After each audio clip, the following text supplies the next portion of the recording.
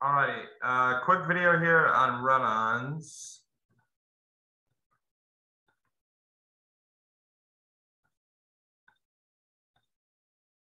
All right, so run-on, there are two run, there are two types of run-ons. Uh, one is called a comma splice, the other is called a fused sentence. All right, so you got run-ons, right? You got comma splice, you got fused sentence. Honestly, probably none of you will ever need to know the difference. You just need to know when to not do them. Like I'm like, no one's ever gonna test you on what a few sentences, or maybe they will, but not my test. So comma splice is when you improperly use. So basically, run on is is connecting two part two full sentences or two complete clause, two independent clauses, or two complete clauses joined in correctly. Comma splice is when you incorrectly use a comma. So this is when a comma splice happens.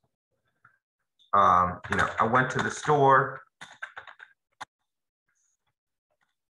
and I bought a bag of apples, right? So this is, well, this is actually just a few sentences. So let's put it down there. So this is a few sentences. I went to the store and, and this is the most that showed up, honestly. A lot of the one-on-ones that essays have been grading lately. So it's like, I went to the store and I bought a bag of apples. Totally fine. Good sense. Pretty much everything's going pretty strongly here, but you've got one complete clause here. I went to the store, right? Because that's a complete sentence, right? If you see, you can see that this is a complete sentence, which makes it an independent clause, independent clause right? Meaning a clause that doesn't need anything else, any other clauses, any other pieces of uh, writing to support it, right? So this is an independent clause, AKA complete sentence, right? Now, so I wanted to the store and bought a bag of apples. You can't connect them with just an and, right? You've got your fanboys, right?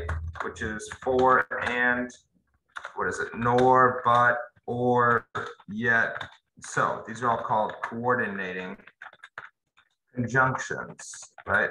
Then you got subordinating um, conjunctions, but let's not do that right now because that's not what we're talking about. So coordinating conjunctions sounds exactly what it like what it is, right? It's a conjunction, meaning it's a um, a piece in the middle of two other pieces, right? Um, mayonnaise in between two slices of bread, whatever you want to think of. Um, sauce between cheese and dough on a pizza, right? It's in between. It's conjuncting. It's connecting. Right. It's like glue. Now, coordinating means it's coordinating two independent clauses. Right. It's the only time you use these. Okay. In this way, and like so, and the word and can be a coordinating conjunction. It could also just be a conjunction. When it's used as a coordinating conjunction, as a fanboy, it is coordinating two independent thoughts, and it always needs a comma. So you do always do comma fanboy the, the way that people get into trouble with this is you don't always need a comma when you have an and, and we'll get into that with the comma splice in one second. So to fix this fused sentence, you just pop a period, boom, I'm sorry, pop a comma, right? That's it. Or you can do this, period. I want to store, I bought a bag of apples. Um, probably that actually doesn't really make a lot of sense. You could also semicolon there. These are all grammatically correct, but they don't make a lot of conceptual sense. I think this makes the most sense, right? I went to the store, then bought a bag of apples, right? Now this is, so this is still an independent clause, right? But this is now a dependent clause, right? Because it says then bought a bag, watch, it's dependent because if I take this off, doesn't make any sense. Then bought a bag of apples, I'm like, oh, what?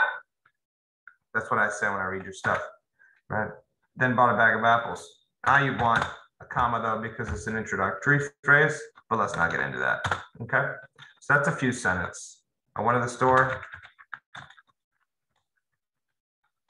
bought a bag of apples. I'm sorry. You could say if you remove bought a bag of apples, if you remove the subject, this is actually correct. This wouldn't be a few sentences because there's not an extra subject, which makes this a complete sentence, right? Look, again, just taken away and bought a bag of apples is a dependent phrase, dependent clause. Boom. Now it's like I went to the store and bought a bag of apples. Don't need a comma. You put an I in there, watch. Here's the difference and I bought a bag of apples. Watch. Now it's independent. I bought a bag of apples makes freaking sense. Pop this in. Now you need a comma. No big deal. All right. Now, comma splice. Uh, let's just use the same phrasing. I went to the store.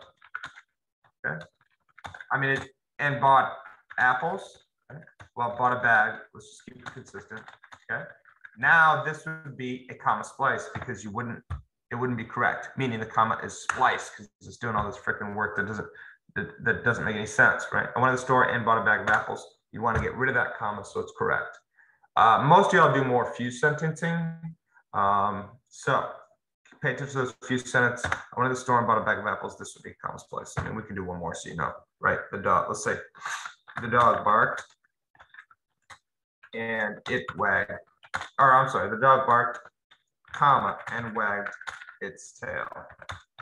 Now look, you don't want to, and wagged its tail. Now look, this is a comma splice as well, right? You're like, but it has an and, Mr. Buckley, you fanboys. No, this isn't, watch. Okay, because this is and wagged its tail. You're like, who? This is, a, this would be a fragment, AKA makes it a dependent phrase, dependent clause. So you pop that in there, you don't even need your comma. But just like we were doing the other one, if you put the dog back in there, then you need the dog barked and the dog wagged his tail. But I mean, the sentence would suck because it just doesn't sound good, right? The dog barked and the dog wagged his tail. Who talks like that? Who writes like that, right? You don't want to do that. All right. So that's run-ons really. Um, that's that's basically all you need to know. Just you know, use your fanboys. If you don't want to use fanboys, just pop a semicolon in there. I went to the store, um, semicolon, and I bought a bag of you'd almost probably want to do it like that. I wanted the store, I bought a bag of apples, right? Um, probably not the best fix like conceptually, but grammatically it's okay. So when you fix your runs, you can fix them with a period, you can fix them with a comma fanboy, or you can fix them with a semicolon. Um, I usually just try to fix them with short, sharp sentences, right? Let's, let's see, one more. I went to the store. Yeah, then uh, let's see, I went to the store, then you know, bought a bag of apples. I went to the store, you know, I went to the store and bought apples. Let's just keep it like that. Okay. All right, sound good? That's it. That's run-ons in a nutshell.